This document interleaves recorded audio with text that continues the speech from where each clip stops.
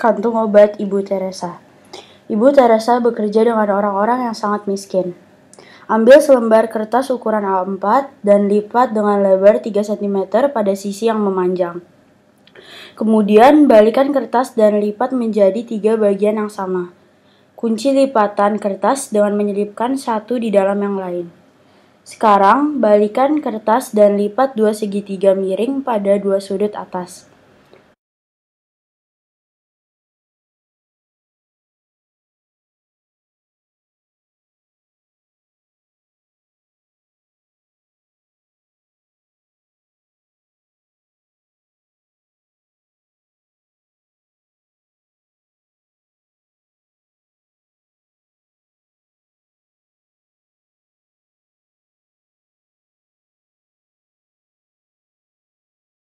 Lalu lipat tepi atas dan selipkan ke dalam saku untuk menyelesaikan kantong obat. Banyak orang miskin mengunjungi Ibu Teresa.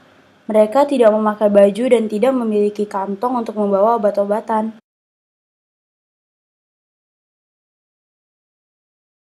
Jadi, ibu membuat kantong dari kertas tua, menempatkan obat di dalamnya dan kemudian menggantung kantong tersebut pada leher pasien dengan tali. Anda dapat melihat wanita ini dengan kantung obat yang mirip. Sejalan dengan waktu, Anda juga dapat melipat kantung untuk menaruh telepon genggam dari kertas berukuran A4.